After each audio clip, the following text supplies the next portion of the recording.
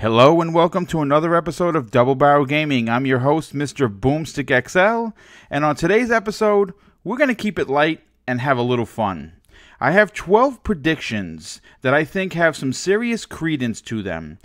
They may be a little off the wall, and while you're listening, you might even scratch your head a bit.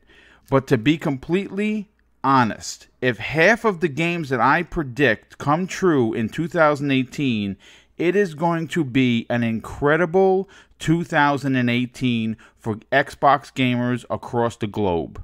To say that 2018 didn't start off with a bang for the Xbox and its fans would be a bit of an understatement.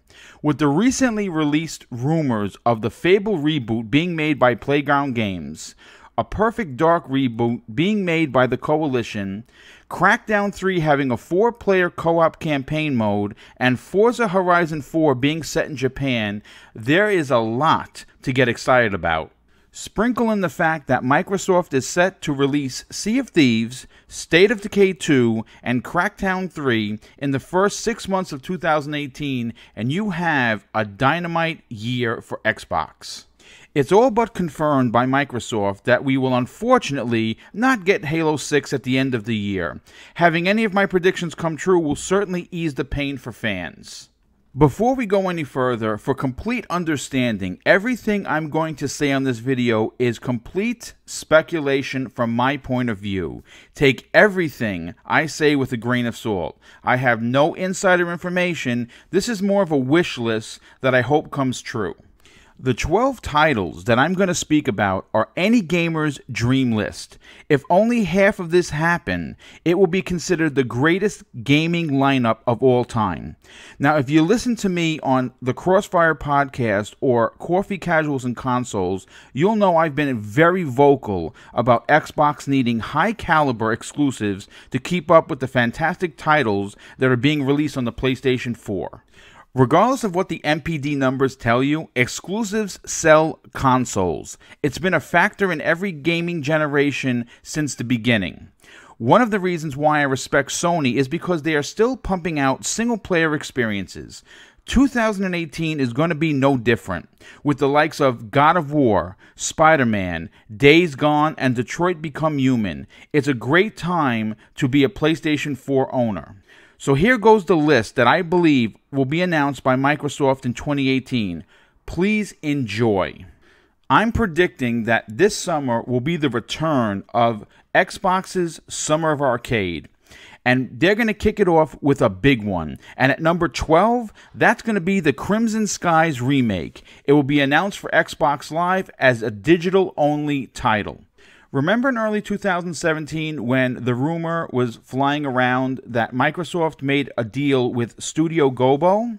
Well, at number 11, this is the title I believe they're currently working on, and that is Viva Pinata 3. Recently, Crytek, the makers of Ryse Son of Rome, was doing an interview and they commented on the power of the Xbox One X, saying how special the system was. If they weren't working on the next game on my list, then why would they comment on the system's power? That's why I believe at number 10, we're going to see announced at E3 2018 Ryse Son of Rome 2. Coming in at number 9 is a fan favorite, one that has erupted on Twitter as being the most requested sequel for the Xbox platform. And I believe that at E3 2018, Sunset Overdrive 2 is going to be announced when Phil Spencer walks out on stage with Ted Price and they officially make the game known to the world. Coming in at number 8 is a game that has traveled numerous generations. It first started out as a 2D sprite, eventually making its way to be a launch title for the OG Xbox.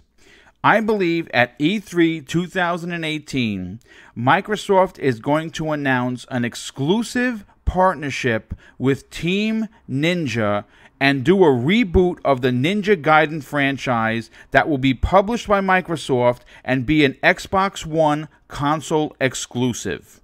Coming in at number seven, and actually is one of my most anticipated titles for 2018 because I absolutely love this series, is I believe that Shadow of the Tomb Raider will be published by Microsoft once again and have a one year console exclusive deal for the Xbox. Coming at number six is a platformer, one I think that we all know and love dearly. Now, everyone knows Rare is currently hard at work finishing Sea of Thieves, and that they're going to continue to support that game years from now. But I believe that right now, Rare is putting together a secondary team to work on the next installment of Banjo Kazooie that will release in 2019. Coming in at number five is another OG Xbox classic one that was a launch title, in fact. And because of recently released information about Microsoft making a deal with Sega, I believe that we're going to get an announcement that Jet Grind Radio 3 will in fact release in 2019 as a console exclusive for the Xbox.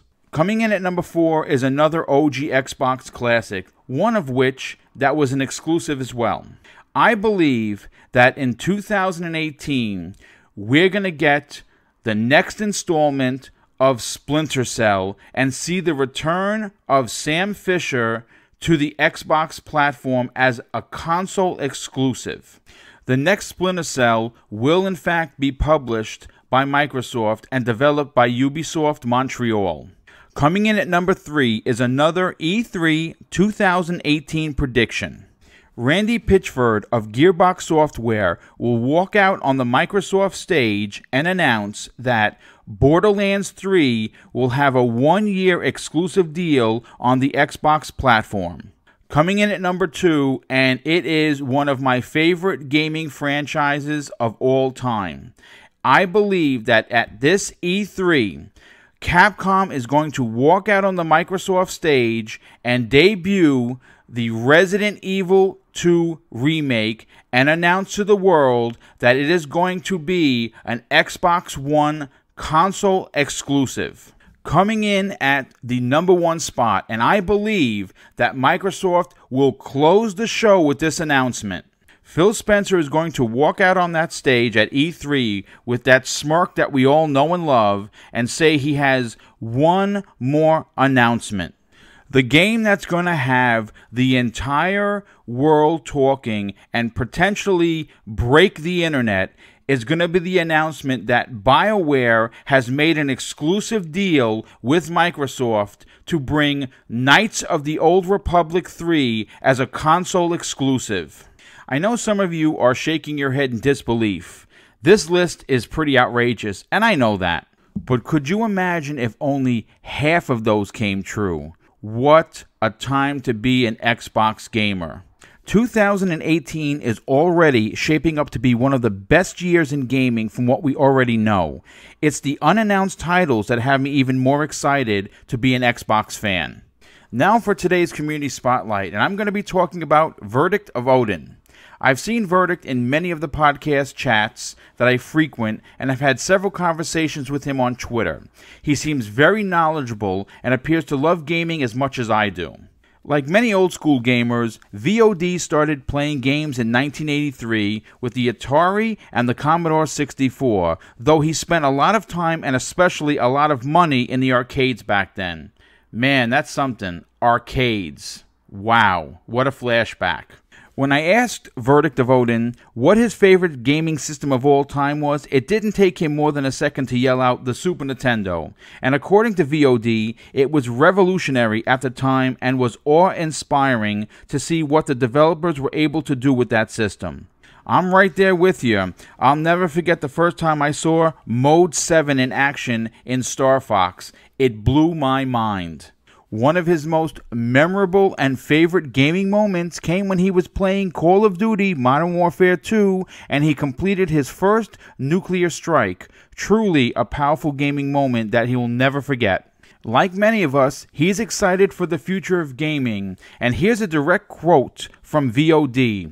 He hopes Bungie gets their shit together and makes Destiny 2 a worthwhile experience for everyone who bought the game based on their promises. Verdict of Odin is super excited for Far Cry 5 and will buy pretty much anything that Bethesda Softworks releases in 2018. And who can argue with that? VOD's favorite gaming franchise of all time is The Elder Scrolls and is expecting big news to drop this year regarding the next installment in the series, and he's certainly not alone. Every fan of the Elder Scrolls series is starving for any new information. Fingers crossed that we get that in 2018. One of VOD's favorite podcasters is Angry Joe. He likes watching his videos and appreciates the passion he brings to each video he does. Please consider following him on Twitter and checking out his YouTube channel. He supports many people in the community, so it would be awesome if we could do the same for him. Thanks again for checking out today's extremely fun video with my 2018 Microsoft predictions. I hope you had as much fun listening to it as I did making it. And if you did, please consider subscribing to the channel and hitting that like button. Thanks again. Have an awesome day.